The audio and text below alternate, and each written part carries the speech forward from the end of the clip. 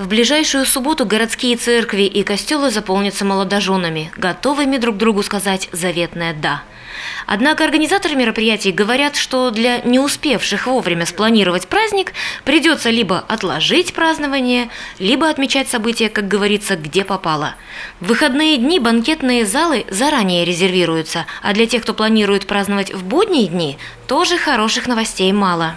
E, Сегодня тенденция такова. Иногда в выходные, но чаще в будни иммигранты и празднуют, потому что для них не важно, когда приезжать в Литву. Могу сказать так, 80% заказов в будние дни поступают от эмигрантов. Самые хитрые в первую очередь заказывают банкетные залы и услуги у организаторов, и только потом несут подавать заявление в ЗАГС.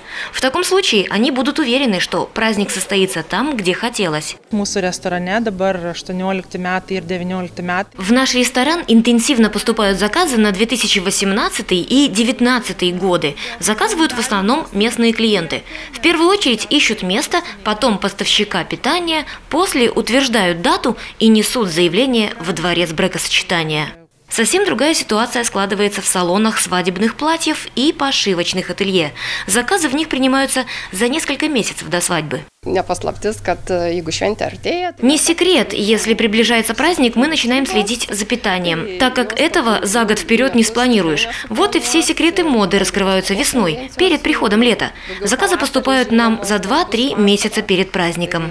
Организаторы мероприятий чувствуют изменение привычек литовцев. Мало того, что планировать жители начинают задолго до праздника, на самих банкетах становится все меньше алкоголя. Эта новость должна обрадовать Рамуна Сакарбаускиса, смеются организаторы и бизнесмены. Man atrodo, ne tik tai jam turėtų pasisekti. Мне кажется, это должно понравиться не только Рамунасу Карбаускису. Меня лично также радует этот факт. Сейчас на самом деле люди хотят отдыхать без алкоголя. Это приятно, когда с трезвой головой идешь спать, просыпаешься и принимаешь участие во втором дне свадьбы. Это просто супер. Очень эстетично и красиво выглядит стол. Собирается семья, близкие люди, на столе блюдо, праздничный торт. Праздник длится 2-3 часа, иногда дольше, но с фруктовыми коктейлями, без алкоголя. Нам это очень приятно. Считается, что такие изменения привычек произошли на фоне опыта других стран. Видимо, выезжая зарабатывать в другие государства, литовцы перенимают примеры этих стран, а иностранцы поступают наоборот. Свои праздники больше доверяют литовцам, потому что цены на услуги ниже, а их качество не хуже. Ирина Высокович, Веста Тизенхаузене, Альгис Дмукаускас, Первый Балтийский канал.